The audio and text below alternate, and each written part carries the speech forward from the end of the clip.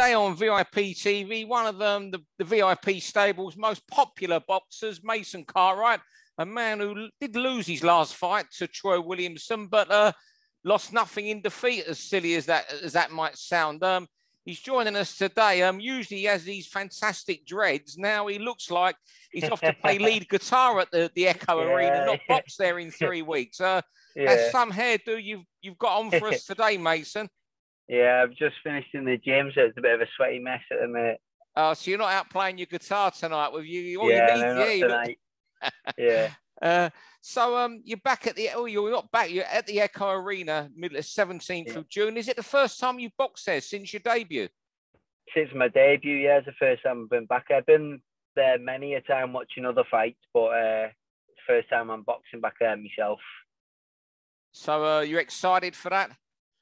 Yeah, I can't wait. I'm uh, it's, it's it's it's a great venue, isn't it? So uh, it's it's nice with it being a little bit more close to home as well. Get a little bit get a little bit more of a, of a feel of a, a home crowd in there than being all the way down in Newcastle or Leeds or wherever, London. As we mentioned, I mentioned at the top there, you lost nothing in defeat there. Your first two defeats are at welterweight, so we ignore them. You've you've told us before your struggles um, making that weight, particularly the Danny Ball fight. Um, how do you feel when people say you lost nothing in defeat? Does it still hurt you that you never won, or do you take yeah do you, do you take some sort of compliment from that, or does it get on your nerves when people like me say that when you're having an interview? Doesn't doesn't get on my nerves at all, no. But uh, just for myself, I think yeah, but I still got beat.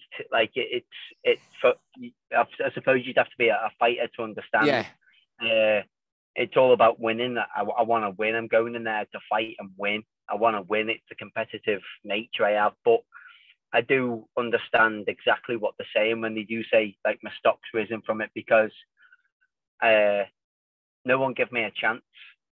No one give me a chance in the boxing world to yeah. win that I'll... fight.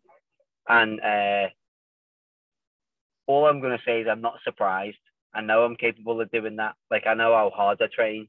Uh, and it was I'm, I'm I'm happy, even though I didn't get the decision. I'm happy with my performance, just to prove to everyone that was doubting me the the level that I am at, and the and the level the levels that I'm gonna get to because that look that was that was my first fight in three years. Yeah, I had one round which which wasn't even a fight, uh, and I've just stepped in with one of the best like super middle, super welterweight in in Britain. So, yeah, bring yeah, so, on the next.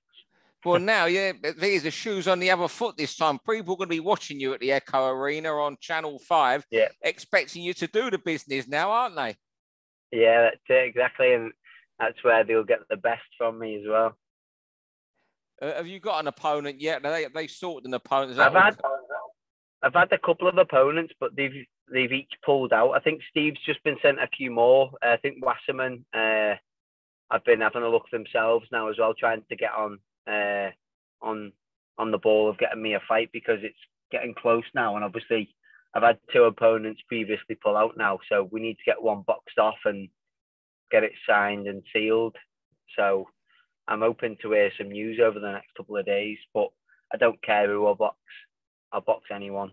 You've proved that. You've proved that. I tell you, I was going to ask you. You say you know your stock's risen, and I was just looking before. Um, we I come online and spoke to you on this call, and uh, you've had a great fight against Troy Williamson, and I'm looking at the, the British rankings on BoxRec, and they've still got you at 15.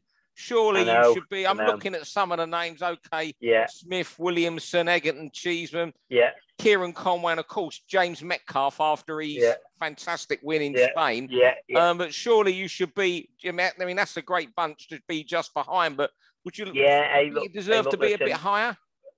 All them names that you just said that all deserve to be up there. And but listen, there's not one of them names that I wouldn't box. I, I'm I'm in I'm in I'm in this game to obviously test myself and obviously prove myself uh, and and my level. So to, to be the best, you got to beat the best, haven't you? So, uh, I, listen, I've got no doubt that after my next couple of fights, I, my, my, name's going to be up in the mix anyway. So, uh, it's just a matter of time. some great names there. I'll tell you what, Joshua, you couldn't Yeah. do welterweight anymore because we know how hard that was. You go to 154. I've just rattled off seven names there. And, Yeah, you know, Yeah. but you, you, could argue, you know, because of what they've done, you are just behind. You could just, you should just be behind them. Yeah, That- yeah. There's seven, That's there's yeah. six, seven names. It's a great division domestically. I'd I'd I'd love I'd love uh, another go with Troy. I, I- I'd love another fight with Troy. Like maybe it's something that, that we could possibly do further down the line, and maybe if if he picks up a big boy belt before I do, I could maybe box him for that. It'd be a good little uh, a little return grudge match. I'm sure we'd all love to see. I mean, I'm looking there. I think if you- uh, something like um, I'm looking now. I mean, Egerton's gone to middleweight. I'm thinking someone Yeah. like you and JJ Metcalf. That would be that. Would, that would be Yeah, fun. that that'd be fireworks, wouldn't it? Yeah, That'd but, be but, you know. I know you're. I think you're. You, you're Ellesmere Port, aren't you? Ellesmere Port, Yeah, Liverpool. There yeah. is that. The bit. There's that rivalry there, isn't there? Yes, yeah. You know, them Liverpool people. They look a bit down on you, Ellesmere Port boys, don't they? Eh? yeah, they can do. I think I'm a I'm- a bit of an adopted one now, though. To be honest, I'm I'm over. I've spent the, my past six years uh, training every day, so he took me under the wing in the gym. But I'm a, but a, but I'm a allowed and proud. Uh, Ellesmere Port, lads, I am. I'm I'm I'm I'm happy from I'm happy where I come from. So Mad, the, the few few good fighters come out of Ellesmere Port, like not you know Paul Butler, and Yeah. there's several pros that you know yeah. all winning pros from a small town. I don't- how- Why is that? Yeah. Do you think? Uh, got to be because they've all come from the World CP boxing gym as well with Yeah. Peter Phelan and my old my old amateur team. Uh, a fantastic gym and it produces amazing boxers across the board in the amateurs and obviously leading on into the professional ranks now. Obviously with me, little Paul, there's been Matthew Fagan over the years, Yeah. Paul Lloyd, Lee Holmes, been many. Yeah, Paul Lloyd. I love watching him. He could, he was he was a Yeah. puncher, mate. He could seriously Yeah. do some damage.